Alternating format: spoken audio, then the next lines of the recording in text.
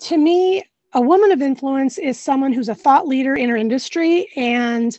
someone who is always striving to succeed, to be there to help grow, support, and collaborate with other women, be a thought leader. What I've learned about being a connected woman of influence is the importance of being transparent and vulnerable, willing to ask questions and for the help of others, and then in return, being there to help and support others who are working their way to success.